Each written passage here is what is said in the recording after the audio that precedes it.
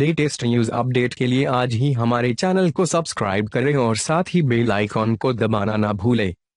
लोकप्रिय TV show Quantico के दो सीज़न में अपनी एक्टिंग से सबको दीवाना बनाने के बाद प्रियंका चोपड़ा इन दिनों न्यूयॉर्क में क्वांटिको के तीसरे सीज़न की तैयारियों में व्यस्त हैं। आज जो तस्वीर सोशल मीडिया पर वायरल हो रही हैं, उसमें शूटिंग के दौरान पुलिस ने उन्हें पकड़ लिया, ऐसा दिख रहा है। दरअसल, ये तस्वीरें उनकी शूटिंग की हैं। आपको बता दें कि क्वांटिको में प्रियंका एक एफबीआई की एक मेंबर को रोल प्ले करती हैं। ये तस्वीरें भी इसी शो की शूटिंग के दौरान खींची गई हैं।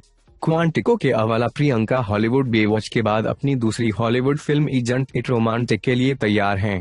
अभी कुछ महीने पहले ही इस फ़िल्म की शूटिंग न्यूयॉर्क में जब शुरू हुई थी, इस फ़िल्म के कुछ फ़ोटो सोशल मीडिया पर वायरल हो गए थे, जिसमें प्रियंका के साथ छेड़छाड़ का सीन फिल्माया जा रहा था आपको बता दें, बॉलीवुड की देशी गर्ल ने हॉलीवुड ने धमाल मचा रखा है और फ़िल्म बेवॉच में अपनी एक्टिंग से सबको दीवाना बनाने के बाद प्रियंका चोपड़ा अपनी अगली हॉलीवुड फ़िल्म जटिट रोमांटिक और क्वांटिको के तीसरे सीज़न की शूटिंग में व्यस्त हैं।